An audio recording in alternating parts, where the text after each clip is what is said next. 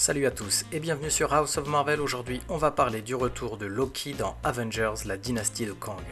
Même si la phase 4 du MCU a introduit une liste impressionnante de nouveaux personnages Marvel, plusieurs membres de la formation originale sont toujours en jeu. En plus de Hawkeye et Hulk, Thor vient de recevoir son quatrième film, Thor Love and Thunder, et Loki a reçu sa propre série et sa saison 2 confirmée pour une sortie en 2023. En fait, de tous les personnages initiaux restants, Thor et Loki sont les deux qui ont le plus d'histoires à raconter. La question bien sûr est de savoir quand et où ces deux frères se croiseront à nouveau, et grâce à la fin de Thor Love and Thunder et la prochaine liste des films Marvel Studios, de nouvelles possibilités sont à envisager. Il est important de noter que Thor pense que Loki est mort aux mains de Thanos dans Avengers Infinity War, et techniquement il a raison. Cependant, les choses ont changé dans Avengers Endgame grâce au braquage temporel des Avengers. Lorsque Tony Stark, Steve Rogers, Smart Hulk et Ant-Man sont revenus en 2012, Loki s'est échappé via le Tesseract qui a servi d'introduction à la série Loki sur Disney+.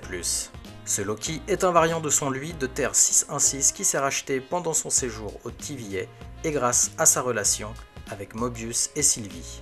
De plus, compte tenu des implications de sa série, il pourrait bien être le personnage central de cette saga du multiverse.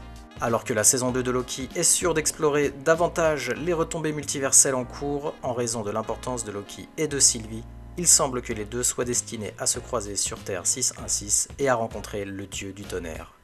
Théorie numéro 1, le variant Loki rencontre Thor dans Avengers 5.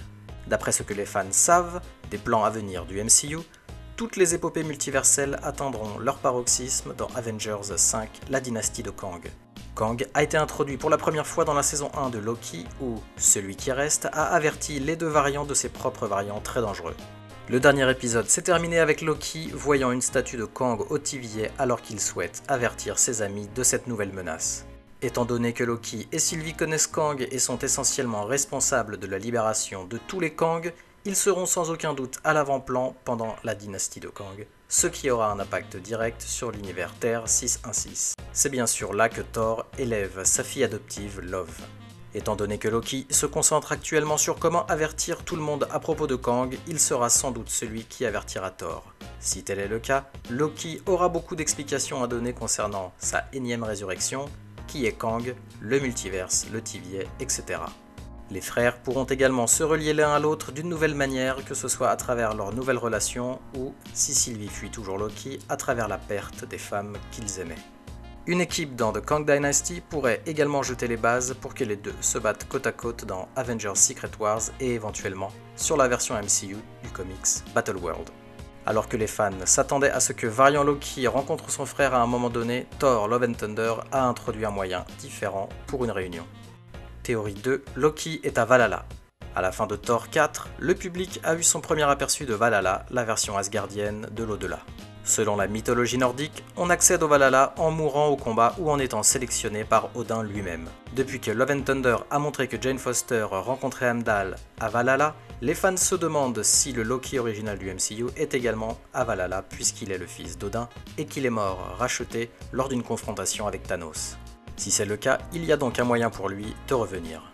Dans les comics, avoir accès à Valhalla ne signifie pas nécessairement que l'on y est pour toujours. En fait, Jane Foster a été ressuscitée de Valhalla et est revenue sur Terre sous le nom de Valkyrie. Et si cela arrive à Jane et ou à Heimdall, pourquoi pas au Loki original?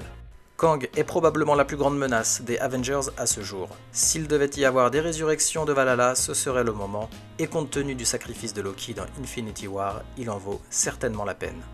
De plus, après sa longue histoire avec Thor, quelle meilleure façon de terminer son parcours personnel que de se battre aux côtés de son frère comme il l'a toujours voulu.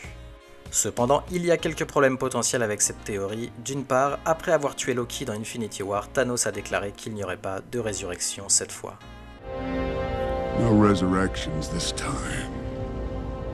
Bien que le commentaire de Thanos n'ait aucun pouvoir réel sur une résurrection de Valhalla, la réplique de Thanos a été perçue comme un message directement au public. Deuxièmement, ramener Loki peut saper sa mort sacrificielle, sans parler de compliquer les choses pour le variant Loki du MCU. Théorie 3, l'histoire de Thor se termine à Valhalla. A ce jour, Thor est le seul Avenger à avoir reçu 4 films solo, ce qui amène les fans à se demander combien de temps durera son contrat MCU.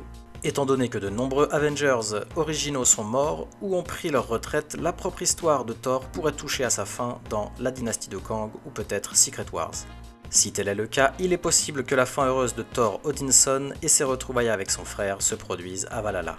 Le seul problème avec cette théorie est la fille de Thor, Love. Cependant, il reste à voir exactement où se dirige cette histoire particulière et dépendra probablement des événements de la dynastie de Kang. Même si le débat sur le moment et l'endroit où le soleil brillera à nouveau sur Thor et Loki est un mystère, les réponses arrivent. On peut être sûr que la saison 2 de Loki va laisser au public une meilleure idée de ce qui se passe dans les coulisses du multiverse ainsi que la trajectoire de Loki pour l'avenir. Avant cela, Kang fera ses débuts dans Ant-Man and the Wasp Quantum Mania en février 2023. Le temps dira comment ses frères se croiseront, mais pour l'instant la dynastie de Kang s'annonce comme le film le plus probable pour une réunion des fils d'Odin. Avengers la dynastie de Kang sera au cinéma le 2 mai 2025. Merci d'avoir regardé cette vidéo, si elle vous a plu merci de la liker, de nous donner votre avis en commentaire et aussi pour ne pas louper nos prochaines vidéos abonnez-vous, activez les notifications, à la prochaine sur House of Marvel.